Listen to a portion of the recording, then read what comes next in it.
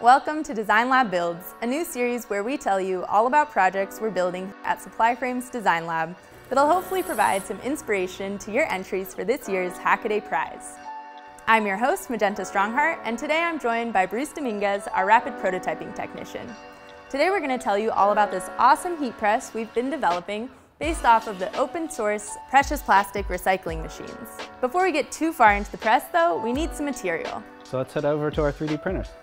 As part of our work here at the lab, we produce a lot of prototypes, which means a lot of iterations along the way that may or may not get used. So we can take our discarded 3D prints, predominantly PLA, a very common filament, and grind them down into finer shredded bits.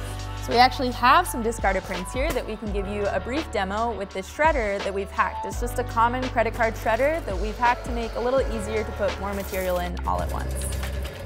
Ah! ASMR.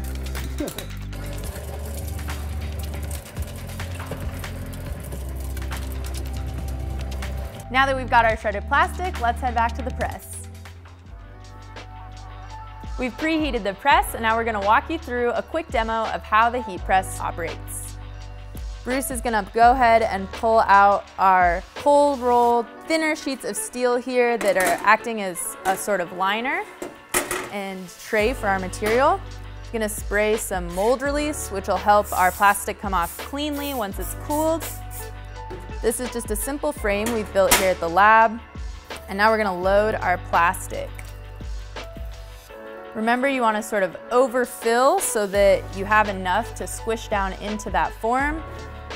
And now we're ready to put this plastic steel sandwich back into our press.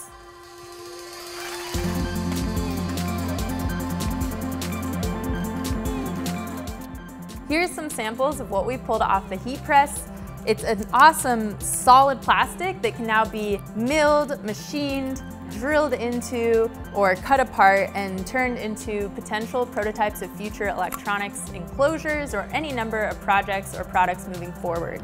This is a way to incorporate circular thinking and circular design into our shop space and material use and we're really excited to see what you all might do with a process like this in your space or your project workflow. Oftentimes when working on prototypes, as we mentioned before, you have several iterations that don't really get used, so there's really no reason to start with brand new raw material if you don't have to.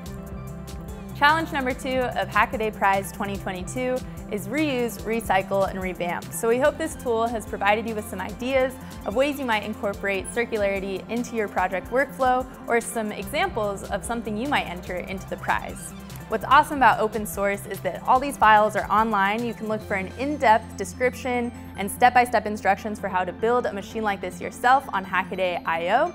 And be sure to check out what everyone else is doing in the community online. There's a number of open source projects that have to do with recycling and recycling tools and machines. So be sure to tap into those resources.